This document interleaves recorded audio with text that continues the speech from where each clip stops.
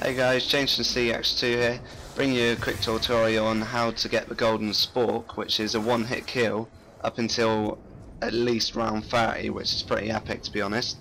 You will need to get the Blundergat to be able to get this, um, so if you haven't, if your luck's not very good on the box, watch the tutorial I've done uh, previously and that will show you how to get a free Blundergat. For the first step you will need to get your Hell's Retriever and as you see aim up at the poster down by the warden's office and it will destroy it.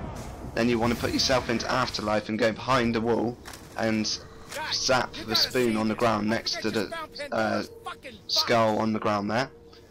For the second one what you want need to do is make your way to the cafeteria and throw your Hell's Retriever at the spoon on the side there and you should hear that sound.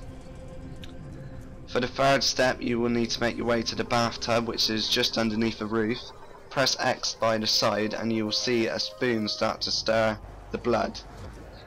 For the fourth and final step what you need to do is have your, well, doesn't matter who does it but you need someone to have a Blundergat which is upgraded and acidic and then they need to just get some kills in the shower area um, so you will need to make a train trip, well, a plane trip over, and um, upgrade it and everything. And as you can see, as soon as you do get enough kills, you will hear that laugh again. And once you've done that, you want to make your way up and press X on the bathtub again. And look at that, guys. It's pretty epic, yeah. And you will just press X on that and everyone will have a golden spork and I'll just show you a bit of game footage now at the top here. And basically it's a one hit kill up until at least round 30 I'm not too sure what round it does stop at but I know you can get to 30 and we managed to get it here by 15 so that's pretty good.